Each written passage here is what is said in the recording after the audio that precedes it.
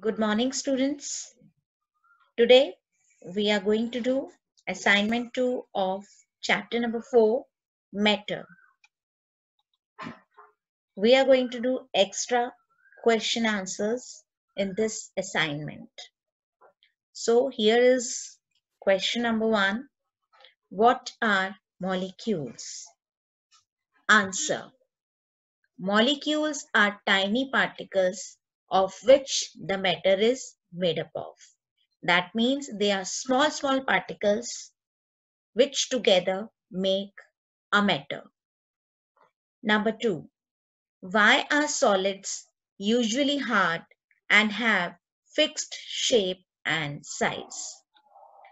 Solids are usually hard and have fixed shape and size because in solids molecules, they are very closely packed. There is little space or you can say there is no space for the movement of molecules in solids. So they are very closely packed. Number three, why do liquids take the shape of the container in which they are kept? Answer. In liquids, molecules are loosely packed. That means they have space in between them so that they can move. So they do not have fixed shape and take the shape of the container in which they are kept. Number four, Gases do not have fixed shape and size. Why?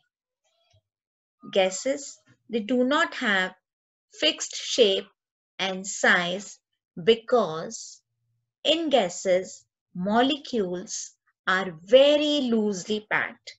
That means they are far apart from each other and they can move about freely. So they fill up the space available to them. Number five, name the gases present in the air. Answer. Air is a mixture of gases. It has oxygen, carbon dioxide, and nitrogen, etc. Number six, why are liquids and gases called fluids? Liquids and gases, they are called fluids because they can flow from one place to another. As you have seen that water, it can easily move from one place to another and other, so, uh, other liquids also 7. Why is water called a universal solvent?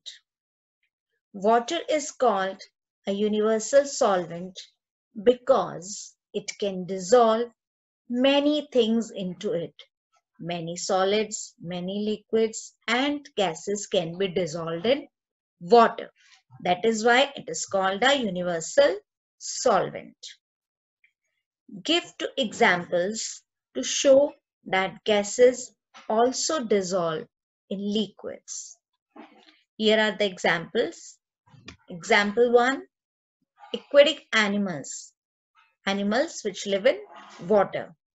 They breathe in oxygen dissolved in water. And aquatic plants. Plants who live in water. They breathe in carbon dioxide dissolved in water.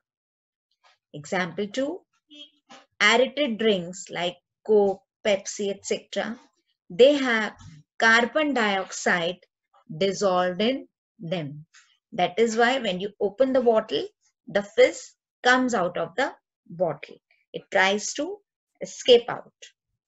That's all for today. Thank you so much.